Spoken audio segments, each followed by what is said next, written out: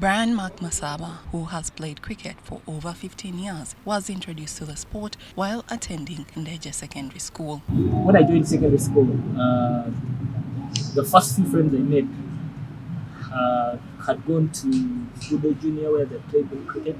You know, I learned from them, and the, the game kind of sort of caught my interest because it was a very mental game. You know, you have to count how many runs. You have to figure out where, where you want to hit the ball and things like that. I made the school in the school team S2. So I played under 17 uh, in my S4. Then I played under 19. Then I got selected for the national team. Masaba first served as captain in 2016, though his tenure was not particularly memorable. I captained uh, under 19. Yeah. Uh, I do not know why some someone listening me uh, saw something in me and gave me the, the captaincy.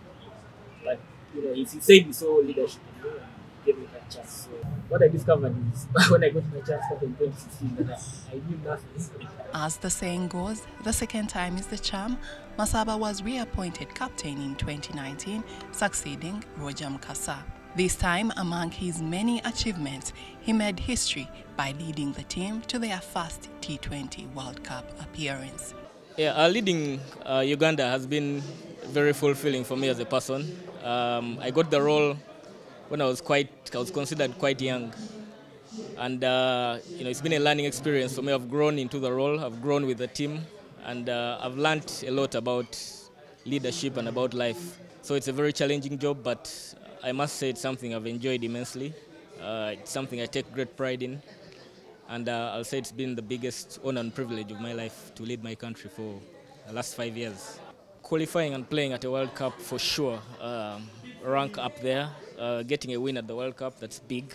Also, you know, securing contracts, full-time contracts for this team um, under Coach Lawrence Mahatlane.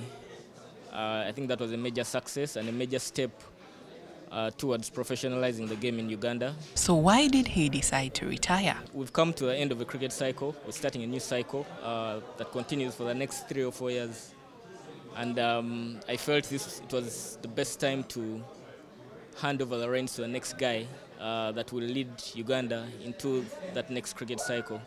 But I also felt I, I needed to step away from from the game for a little bit to sort of renew my batteries because it's been a long three, four years you know, preparing for the World Cup and qualifying for the World Cup and finally preparing after the qualifier for the World Cup as well. Despite stepping down as captain and retiring from the T20 internationals, Masaba says he will remain involved in the game. I'll continue to play my part as a player and uh, as a senior member of the team, I'll always be available for to give advice and uh, to lead by example, like I've always done. So, not much changes for me.